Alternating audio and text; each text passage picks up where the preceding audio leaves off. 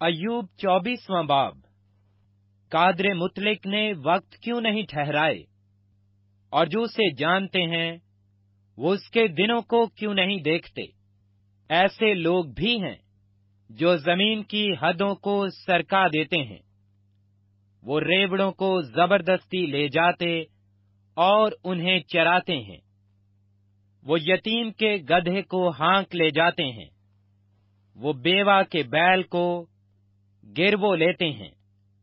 وہ محتاج کو راستہ سے ہٹا دیتے ہیں۔ زمین کے غریب اکٹھے چھپتے ہیں۔ دیکھو، وہ بیابان کے گور کھروں کی طرح اپنے کام کو جاتے اور مشقت اٹھا کر خوراک ڈھونڈتے ہیں۔ بیابان ان کے بچوں کے لیے خوراک باہم پہنچاتا ہے۔ وہ کھیت میں اپنا چارہ کاٹتے ہیں اور شریروں کے انگور کی خوشا چینی کرتے ہیں۔ وہ ساری رات بے کپڑے ننگے پڑے رہتے ہیں اور جاڑوں میں ان کے پاس کوئی اوڑھنا نہیں ہوتا۔ وہ پہاڑوں کی بارش سے بھیگے رہتے ہیں اور کسی آڑ کے نہ ہونے سے چٹان سے لپٹ جاتے ہیں۔ ایسے لوگ بھی ہیں جو یتیم کو چھاتی پر سے ہٹا لیتے ہیں اور غریبوں سے گرو لیتے ہیں۔ سو وہ بے کپڑے ننگے پھرتے اور بھوک کے مارے پولیاں ڈھونڈتے ہیں۔ وہ ان لوگوں کے احاطوں میں تیل نکالتے ہیں۔ وہ ان کے کنڈوں میں انگور روندتے اور پیاسے رہتے ہیں۔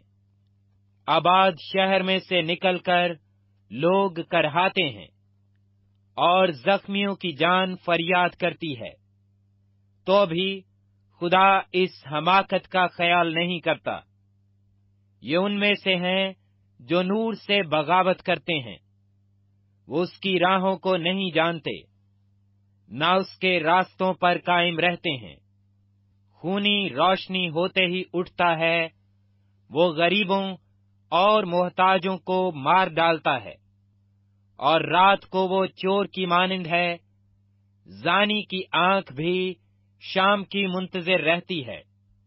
وہ کہتا ہے، کسی کی نظر مجھ پر نہ پڑے گی۔ اور وہ اپنا منہ ڈھانک لیتا ہے۔ اندھیرے میں وہ گھروں میں سیند مارتے ہیں۔ وہ دن کے وقت چھپے رہتے ہیں۔ وہ نور کو نہیں جانتے کیونکہ صبح ان سبوں کے لیے ایسی ہے جیسے موت کا سایہ۔ اس لیے کہ انہیں موت کے سایہ کی دہشت معلوم ہے۔ وہ پانی کی سطح پر تیز رو ہے۔ زمین پر ان کا بخیرا مولون ہے۔ وہ پاکستانوں کی راہ پر نہیں چلتے۔ خشکی اور گرمی برفانی پانی کے نالوں کو سکھا دیتی ہے۔ ایسا ہی قبر گنہگاروں کے ساتھ کرتی ہے۔ رحم اسے بھول جائے گا، کیڑا اسے مزے سے کھائے گا۔ اس کی یاد پھر نہ ہوگی۔ ناراستی درخت کی طرح توڑ دی جائے گی۔ وہ بانچ کو جو جنتی نہیں نگل جاتا ہے اور بیوہ کے ساتھ بھلائی نہیں کرتا۔